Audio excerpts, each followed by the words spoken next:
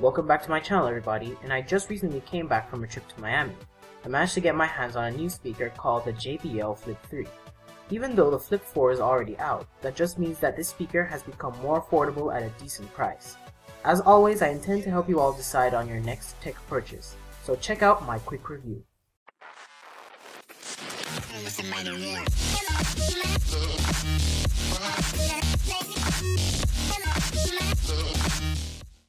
One look at this and I can already see that the Flip 3 has a much more solid and durable construction than the Anker Soundcore. The Flip 3 weighs about 450 grams, 169mm in width, and 64mm in height. On the speaker we have the Bluetooth button, the volume up and down buttons, and the speakerphone button. All of them feel very responsive, but I would have liked if they had risen them up more from the surface to help better differentiate them by touch.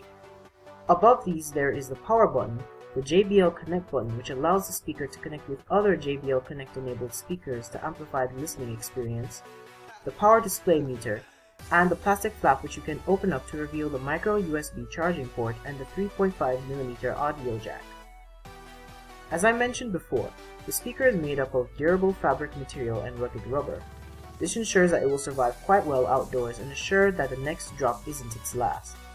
The speaker grill which encircles the speaker is nylon braided and each end offers rubber grips to help the speaker stand upright. Additionally, the speaker is splash proof, and that means the speaker will survive being in the rain and accidental water spills.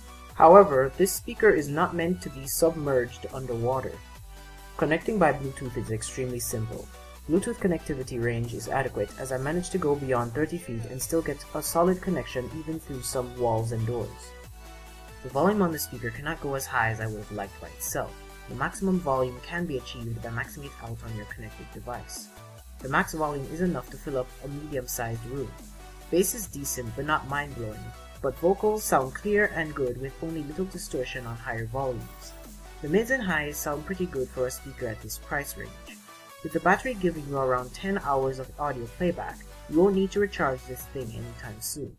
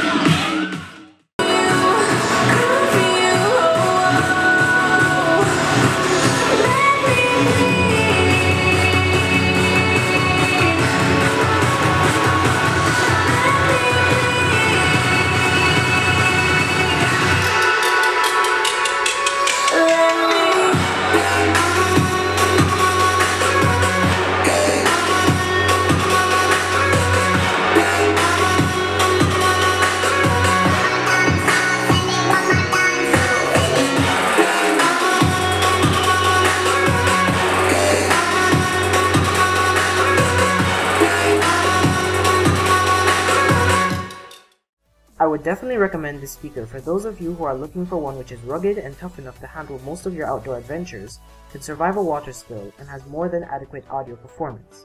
I can safely say that this is worth considering for your next tech purchase. If you wish to acquire this item, check the Amazon link down below in the video description. Thank you for watching my short review on the JBL Flip 3. Please remember to like, comment, share, and subscribe so you can be kept up to date on newly released videos. Until next time, live life and stay connected.